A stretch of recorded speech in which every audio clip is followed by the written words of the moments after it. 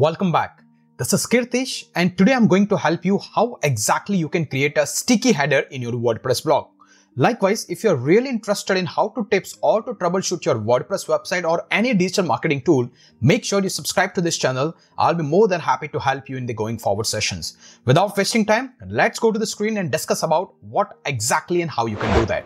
First of all, you have to log into the WordPress backend the way I have logged in myself. Here you can see this is one of my dummy website which I created just before this session and there you will find there is a dummy menu options which has a certain categories and everything. Now what happen is if I will scroll down you can see the menu options which is the primary header just gone away. So now I would like to stick them at the header so that people can navigate easily in case they wanted to navigate through your website or pages then how you can do that.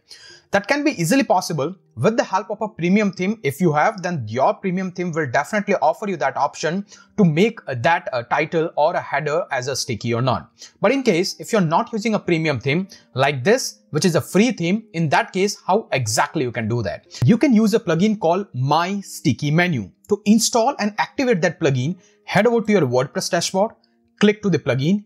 Inside that, click to the add new plugin. There you have to search about My sticky menu. The moment when you will search it, this is the plugin you will figure out. Click to install now. Then the next step is activate that plugin.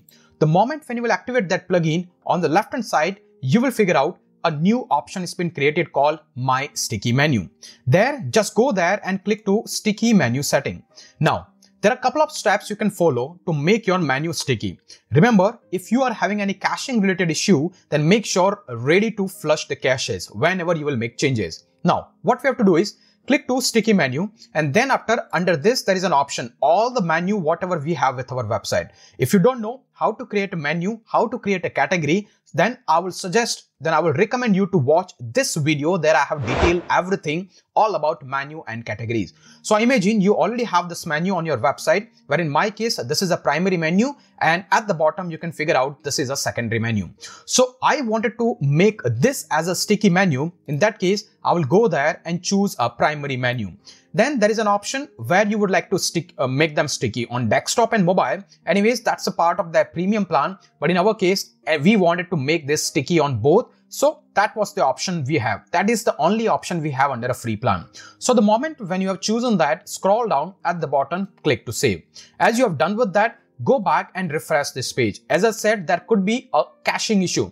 So scroll down and see whether the menu has become sticky or not. So you can see there is a sticky menu been added. Now the menu stick at the header whenever you are scrolling down. So likewise, you can do something similar.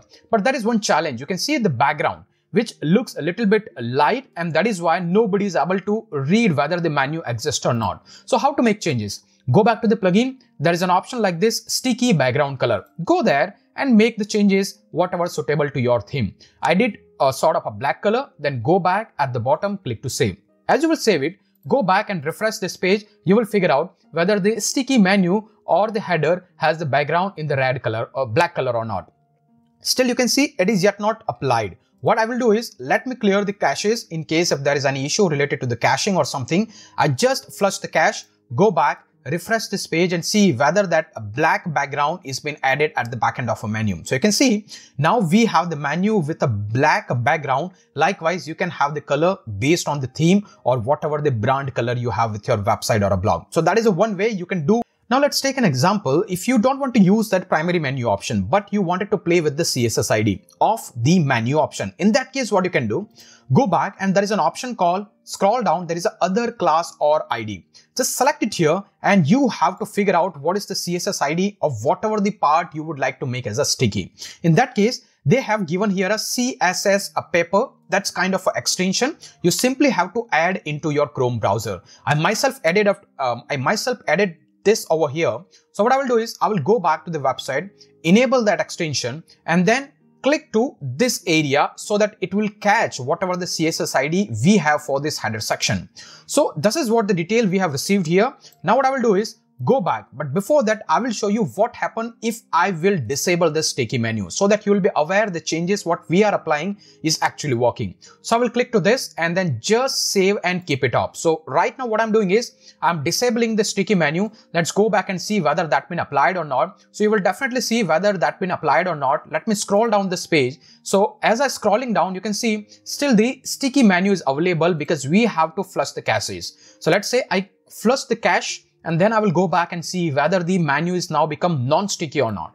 So we'll figure out, okay, uh, I just refresh this page again and now you can see now this sticky menu is gone away. That means the so now let's implement the second method which is via this CSS code. So I will repeat it again, go back and then after click to this header menu option, you'll figure out this code, CSS code. Now click it go back to the settings section. Now enable the sticky menu. This time we'll choose this other CSS ID and paste that ID. Remember, you have that ID, whatever you would like to make as a sticky header.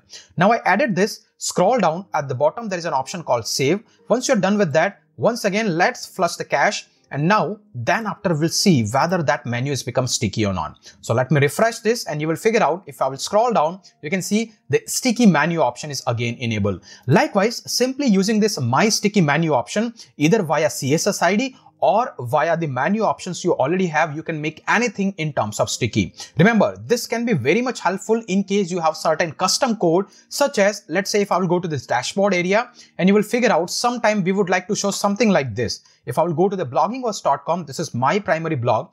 On that blog, if you will go and scroll down top and bottom, sometimes you will figure out there is some sticky header. What is that header? That header will show certain offers, whatever I'm running on my courses. Something similar, if you would like to create, there is an option which you can try here. This as add a new welcome bar. The moment when you will click to add a new welcome bar, this kind of bar you can add with your website. So I will enable this. You can figure out what exactly you wanted. You can scroll down and click save it and let's see whether that header bar is been added or not. So back to dashboard or let's say clear the flush and then after go back to the teachku.com which is a dummy website and you can see this kind of bar is being added at the top. So likewise, you can make anything sticky on your website no matter it is a heading, no matter it is a footer, no matter it is the top bar of your website. Hopefully you enjoyed this session. Likewise, if you are really interested in the future, make sure you subscribe to this channel. I love to create content around tech and tips to make your blogging or digital marketing journey quite easier.